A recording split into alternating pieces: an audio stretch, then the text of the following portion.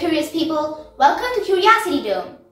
Today I'm going to do the bubble snake experiment and learn about bubble science and surface tension. First, let's prepare the soap solution.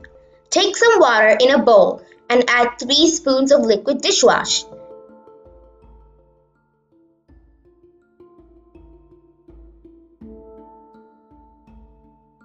Mix it well. Here I have already cut a plastic bottle and took its upper half. I reused an old vinegar bottle. Then take an old sock and insert the bottle into it in this way. Fix it with a rubber band.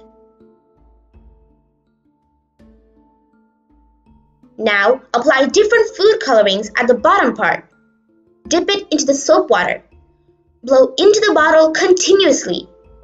Yes, we got the bubble snake. I really expected a colorful one, but the colors spread over the sock and the sock became colorful. Anyways, I got really long bubble snakes. That was so fun! Now, how are these bubbles formed? When we blow air into the bottle, the gas molecules in the air get trapped by the liquid soap on the sock and form bubbles. A bubble is a globule of some volume of gases enclosed by a liquid. Here, in the case of soap bubble, the outside liquid layer is a soap film made from soap and water. Now, why are the bubbles in a spherical shape?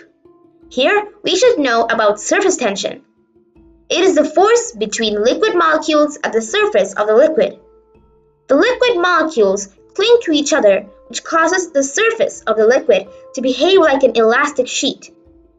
Here, when we blow air into the soap film, the soap film acts like a stretchy, elastic membrane, and it tries to have minimum surface area around the air molecules. The sphere has a minimum surface area compared to other shapes. Thus, the bubble ends up in a spherical shape.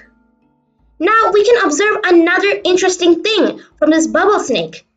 Bubbles cling to each other and the intersections make 120 degree angles which is the same angle we can see in hexagons. Why hexagons? If we pack spherical bubbles in a single layer, it can cover only 90% of the area on a plane, and 10% is empty. Hexagons are the shapes that best fill the plane and leave no wasted space.